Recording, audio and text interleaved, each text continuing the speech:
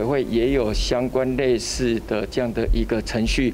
那这个程序里面会有相关的主政的机关，像这次是科技处，他就会把疑点去厘清。那也会请当事人做说明。张善政团队二零零八年研究计划爆出抄袭，现在的农委会成了苦主。主委陈吉仲赶忙了解状况，说要找当事人厘清。每一个报告都有签相关的这些的合约书，那合约书里面也有相关的规范，所以如果有任何的，我说如果有任何的这些像抄袭或侵权行为，那都有依照相关的规定要办理。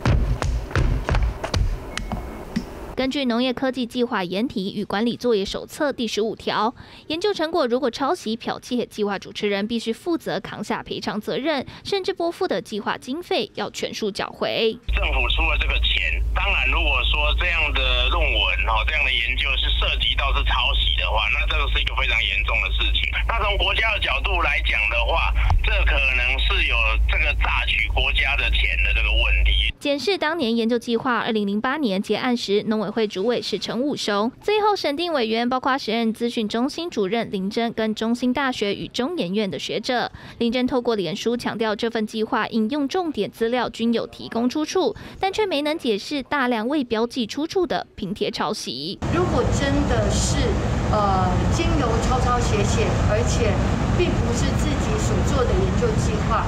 农委会也一定要把它追回，否则五千多万是人民的纳税钱。农委会目前正在调查细节，若有抄袭疑虑，将开会找当事人说明。试设五千七百多万的公帑，得加紧脚步。三立新闻汪成伟、罗佩宇台北采访报道。是抄袭，还有 A 钱，还有侵犯版权。诸多罪名就扣在张善政头上。民进党立院党团大动作开记者会，痛批国民党桃园市长参选人张善政过去拿下近六千万的农委会研究计划标案，报告里却到处都有抄袭痕迹，已经涉及法律责任。抄袭 A 钱是属于一种诈骗的一种行为。张善政对于过去啊，他藏起来用一个高标准的方式来检验其他候选人，他也应该用高标准的方式来检验自己。收集资料，好，然后。没有具体成果内容，啊，然后缴了缴交交这个报告之后，这个履行契约上面第一个就有问题，交给业主的这个资料。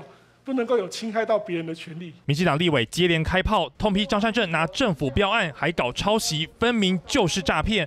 而过去林志坚论文争议，张善政还说政治人物诚信很重要，还呛他巴不得要当林志坚的指导老师，如今显得格外讽刺。对于林志坚来说，论文抄不抄，他的获利者只有林志坚一个。可问题是哦，对于张善政的这个研究案的话，它里面的几千万其实都是我们缴税缴来，刑事的部分会不会有致使公务人员登载不？